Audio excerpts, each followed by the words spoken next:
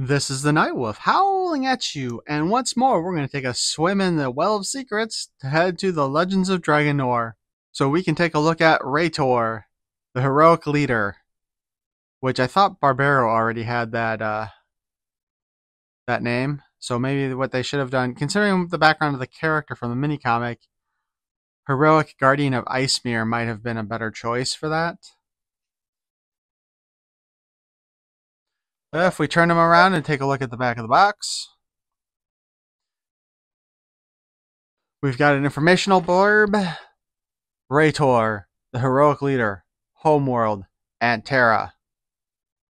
Special ability, mighty strength. Weapon of choice, battle axe. But he comes with a mace. Raitor, the guardian of the dormant volcano Cryofire in the frozen region of Icemere is the twin demon brother of Onitor. Peaceful and charitable, he is his brother's opposite in every respect.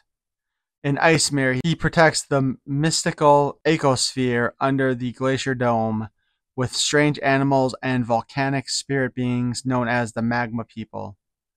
When Onitor decided to invade Icemere with Oskuro, Raitor was once again forced to confront his twin brother. And still, no matter how many times Raitor has to fight Onitor, he will always be bound to his brother and will always try to protect him from the dangers of the worlds they travel. Huh? I'm a little confused by that one. So only Raitor is trying to protect Onitor from the worlds. Plus, I'm just trying to remember. I don't was only Onitor's homeworld Antera? I thought they came from someplace else and then ended up there. Anyway, let's go ahead and open this sucker up.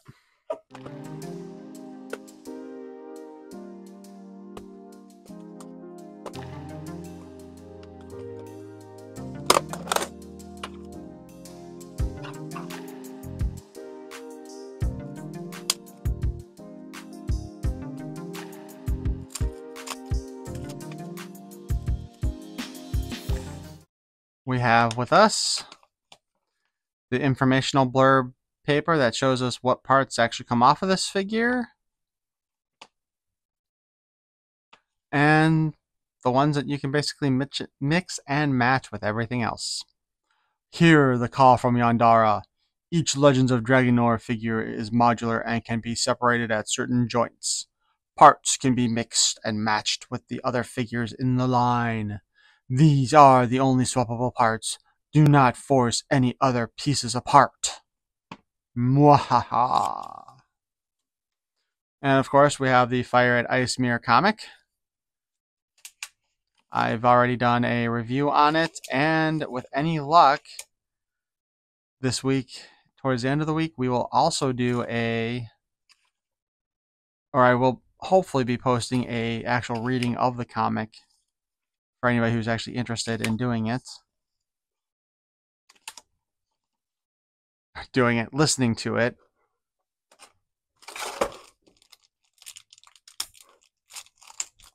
Ah! Wow.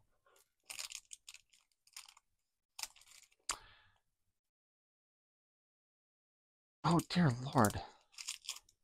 Alrighty, so apparently this is made into two parts and painted. So there's that. I might have to glue that in later. Of course, I said that about some of the other parts within this line that I didn't get around to doing anything with anyway. We, of course, have the high density plastic, the little cover that helps hold them in place. And finally, we can pop our figure out. Raitor here is a blue version of Onitor. Comes with all the same parts and the same weapon. Even though it says his weapon of choice is a battle axe. Would have been kind of cool if they'd found a way, if they'd given us like a little attachment for inside this mouth thing to turn this into an axe. That would have been awesome. He's got the same demonic face sculpt.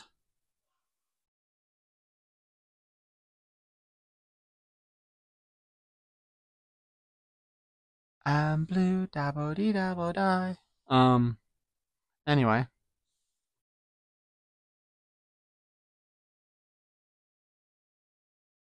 I'm trying to decide if I like this color scheme better than the Onitor one or not. And I kind of think what it really is is I don't like the green that's on Onitor, but we'll we'll talk about that later. Articulation wise, this is the Legend of Dragonore, where everything is a modular peg design. So we basically get the 360 spin here on the head, and we can pop it off. The arm is also on a peg. We can spin it up and back.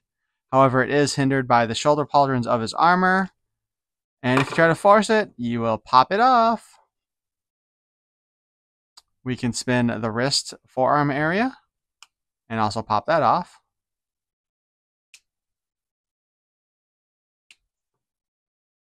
The waist spins at a 360 and we can pop it off. The leg can kick forward a little bit and kick back a little bit and instead of kicking out, everything pops apart. I like how he actually landed kind of upright still. And of course, we can spin the ankle twist here. Boot cut, I should say. And we can pop it off.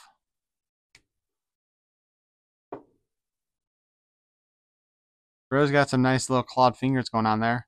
This is a higher grade plastic than what we get in most toys.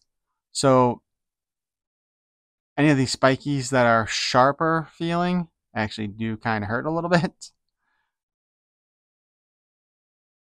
In comparison to the other toy, we have Raitor with his brother Onitor. You can tell they're brothers because they share the same eyes.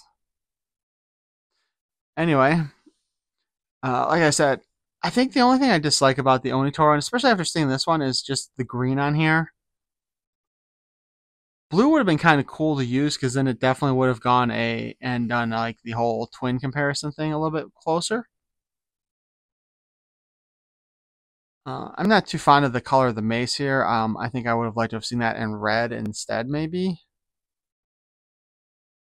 But as you can see, they are twins, same mold, Paint apps all seem to be in the same place.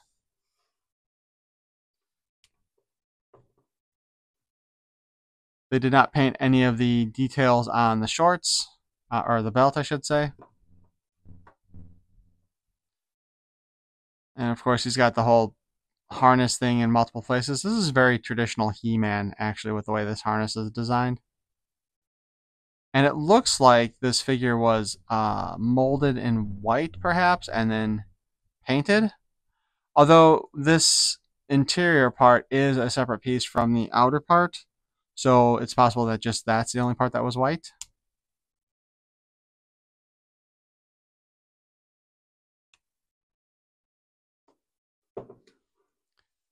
I want to do an armor swap on these two. And I am probably going to hate myself for doing it.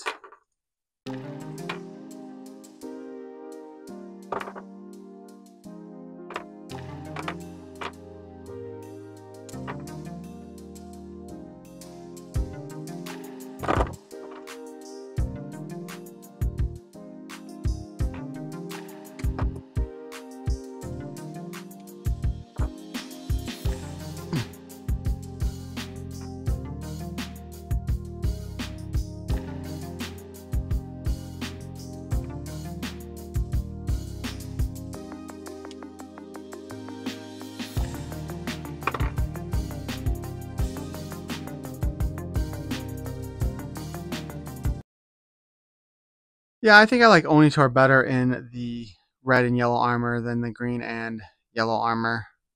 I just don't like that green color, to be perfectly honest. But overall, as part of the figures go, uh, this might be another one of those cases where I kind of like the color scheme a little bit better, mostly because they got rid of that green. It just it just doesn't look right to me. I, I don't like the way it sets up. Um, but I do like the red skin. Like I think Onitor looks great in the Raitor armor. And if there was a way to actually swap out the other parts, I would probably do that as well.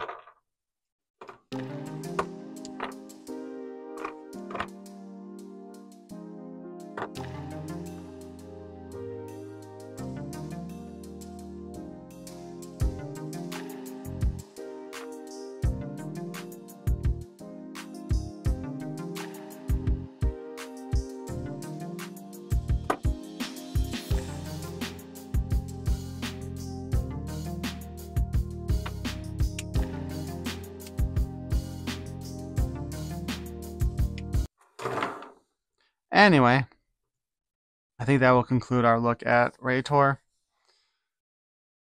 Pretty cool looking. Color scheme looks pretty good. I think Onitor could have been improved with this color harnessing. Or they could have actually done maybe the yellow harness with the red highlights instead of the green, and that probably would look pretty good too. Unfortunately, these figures are a little too expensive to do that myself. So I won't. But anyway, please let me know what you think. Uh, have you considered buying the Legends of Dragonore figures yet?